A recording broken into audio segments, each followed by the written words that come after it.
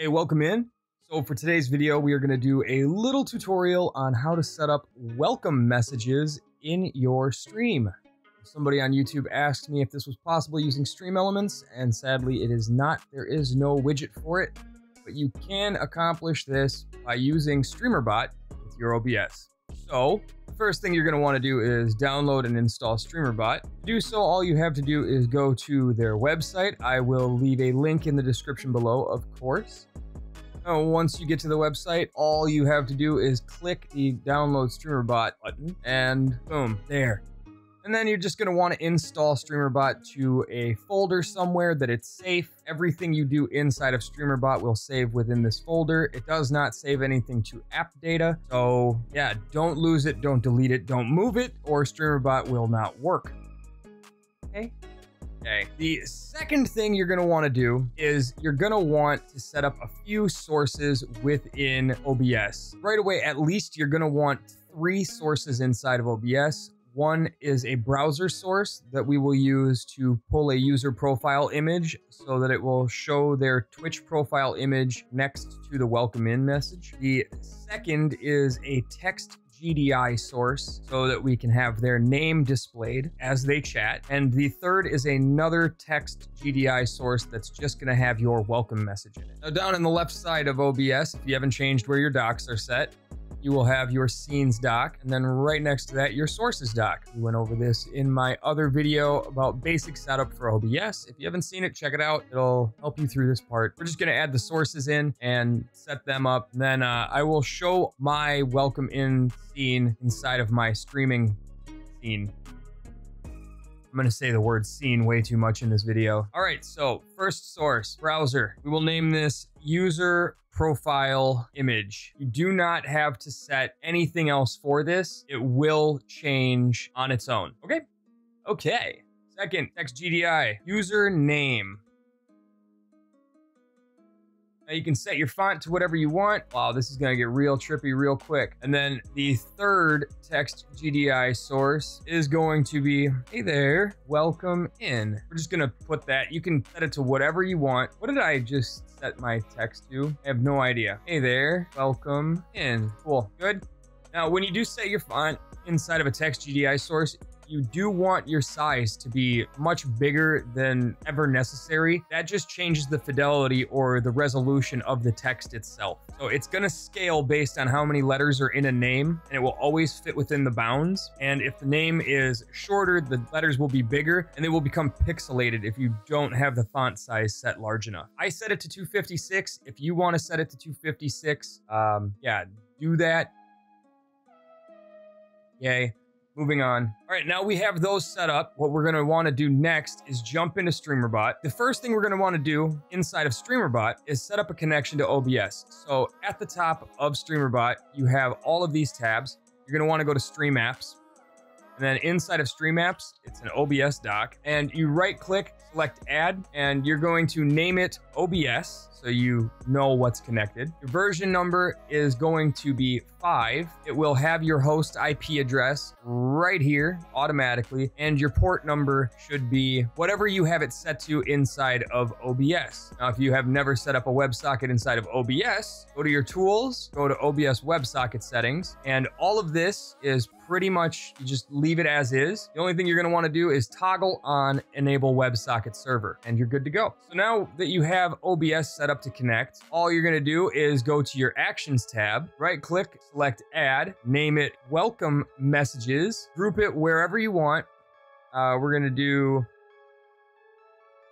ZZ tests. Always run, and you're going to want to set up your own queue for this. I already have one set up, but you know, I'll I'll show you how to set up a queue. All right, so at the top of StreamerBot, yet again, there's an Action Queues tab. Select Queues, add a new queue, okay, and then name it Welcome Messages. You can see I already have mine, and then turn blocking on.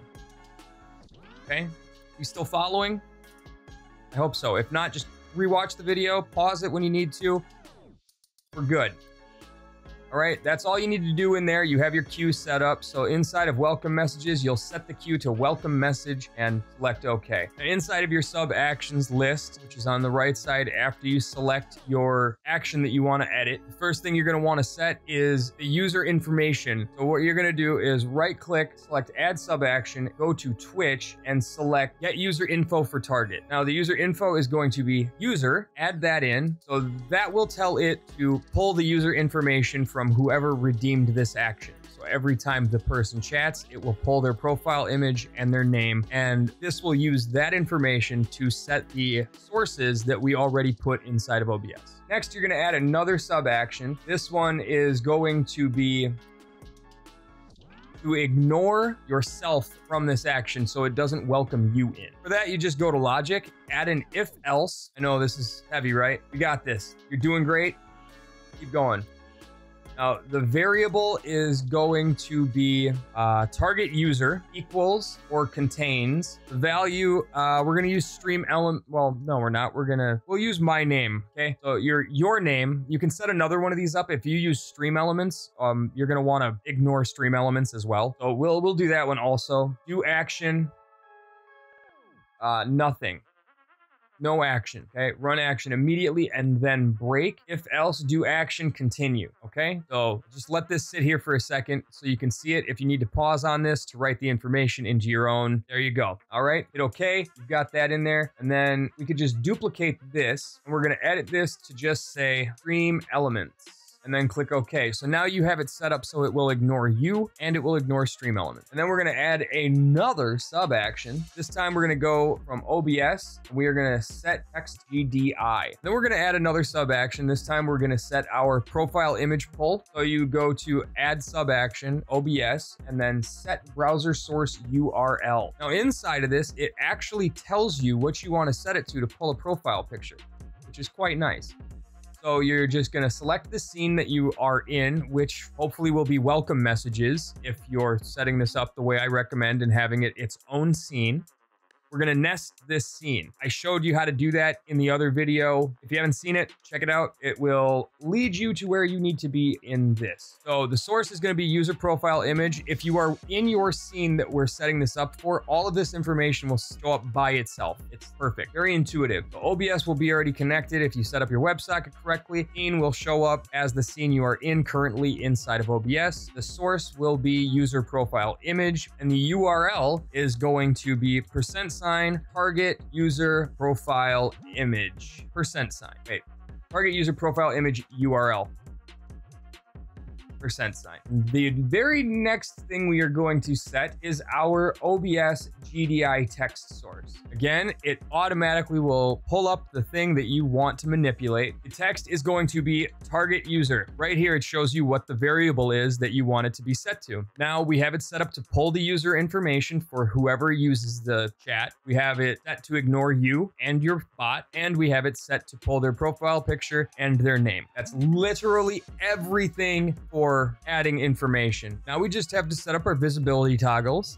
and to make this take less time than it would if I was to do this all right now, I am just to show you my already built welcome messages because that's it's just easier all right? So here you can see that i have the add target info the user contains stream elements user contains my name and break then a delay for 500 milliseconds and the adding the information to the browser sources. You could pretty much just copy this information if you want to. Um, i will show you how find it inside of streamerbot real quick. It's all inside of add sub actions obs all right. You, you can read what they are in the list. It says it on the left side of each text source right here.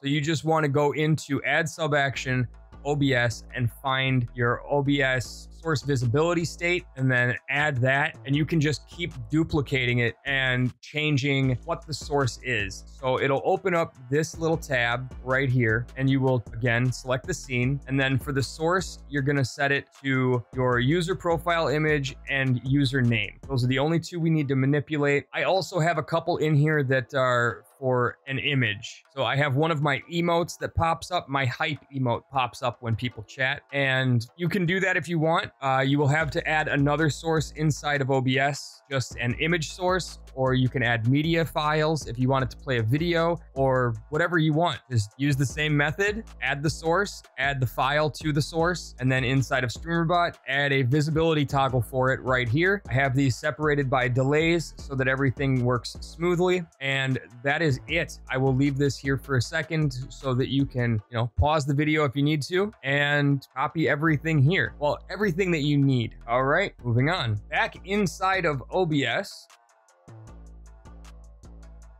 you will want to toggle off the visibility on all three.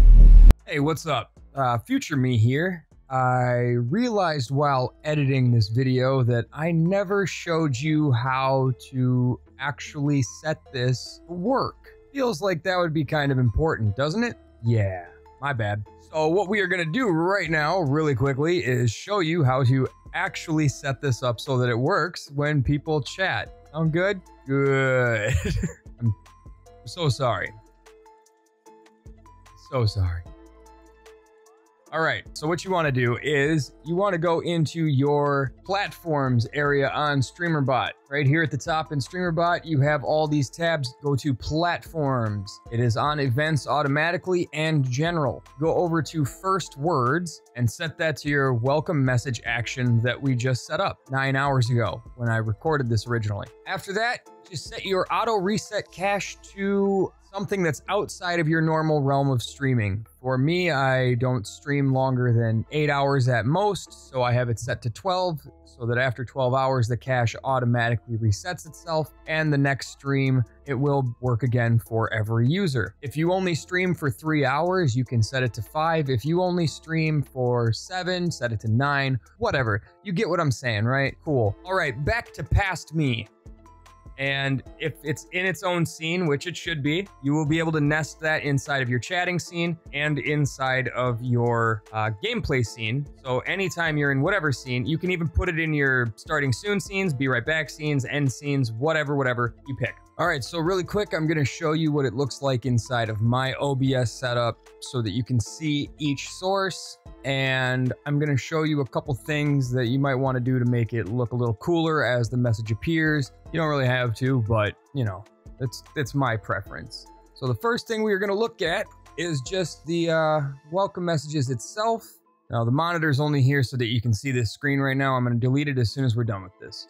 The profile image is on top username after that, my hype emoji, and then the welcome in message. Now for each one of these, I have a different filter set on to show and hide it. So for the profile image, I have a show filter of fade and I have a hide filter of fade, both with a duration of 750 milliseconds. So the profile image slowly fades in and then fades out. For the username, I have a transition to show of swipe. It is set to swipe right so that it transitions in, and then reverse that for the hide transition.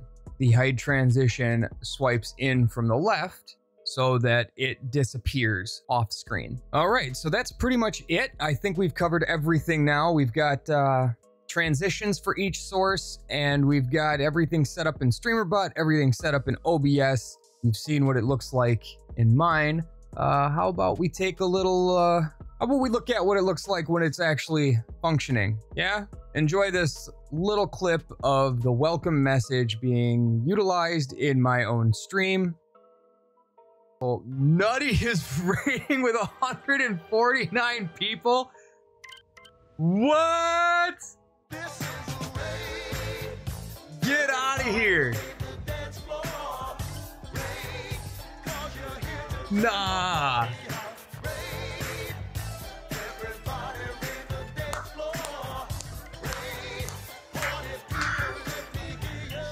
Yo, thank you for following Wired Orange. What is up? Welcome in, everybody. Nutty said you're awesome. Nutty is awesome. Thank you for following. Monknilius. Hi. On Steel. Joe Muhammad, what's up? How's everybody doing today? Happy Halloween! We just finished a movie. It's too bad you guys didn't come in here for that. Nutty! What's up, buddy? How you feeling today? How you doing? Is this an American broadcast? This is I am in Minnesota, United States. Don't pass out. Nah. At least I slept today. If you liked this video or found it helpful, please like and subscribe to the channel. I appreciate it. Turn on that notification bell and maybe uh, drop a comment down below if you have any questions or comments on anything at all.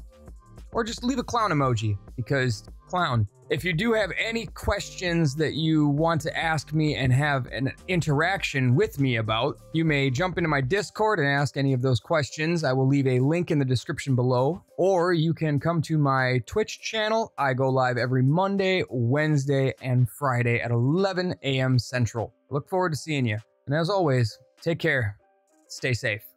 See you in the next one.